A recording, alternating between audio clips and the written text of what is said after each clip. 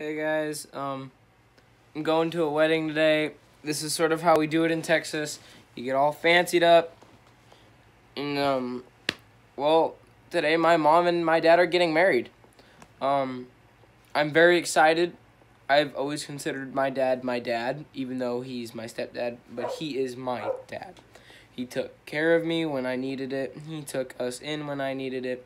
And I give all of my love to you guys and him and my mom and all of my family and all of you guys. And that includes you guys. You guys are my family. I consider y'all family because y'all help this channel.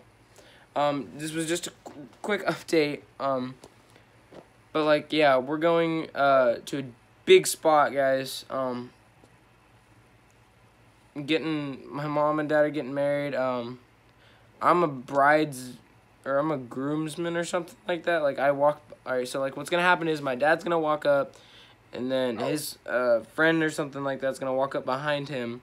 And what's gonna happen after that is I'm gonna walk up behind his. Well, I'm gonna walk up the aisle with my sister, and we're gonna. I'm gonna go behind my dad's friend, and my sister is gonna go behind, uh, my mom's friend.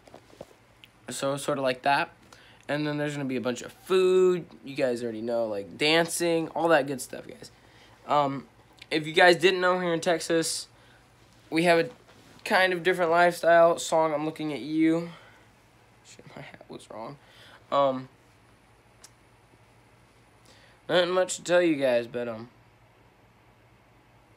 I'll see y'all later. I'm out the jammies.